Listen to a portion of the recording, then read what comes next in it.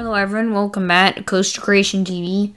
Today's video is the results for the Planet Coaster Invert Contest.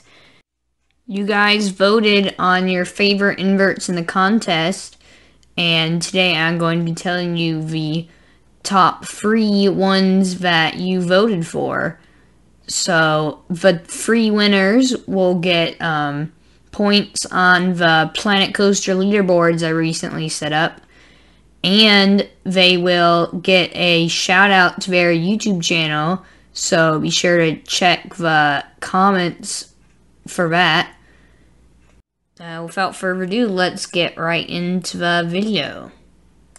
Coming in at number three with 10 votes is Atlas Revolt, created by Metallicoasters.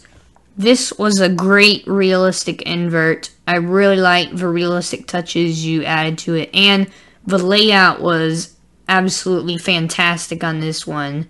It was such a great coaster layout. So yeah, definitely very well deserving of the top three with this one.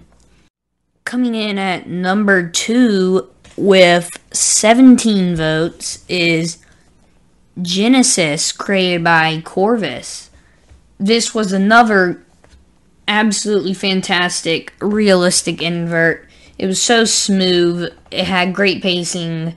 Um, yeah, it was inspired by Nemesis, you could tell, and it was just really cool. And now, the number one creation in this entire contest. With 26 votes, it is Attack on First Order created by Roller Coaster HQ. This was absolutely incredible Star Wars experience coaster. It was so cool how you made the vehicles and the theming, and the narration was really good storytelling. This was absolutely fantastic creation by Roller Coaster HQ. So, yeah, definitely very deserving of the number one spot in this contest. Congratulations to the top three winners of this contest. And all of the inverts in this contest were really good, so thank you all for entering this contest. They were all really good.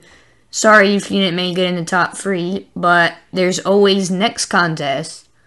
So, yeah, stay tuned for future contests. Uh, I'll see you in the next video.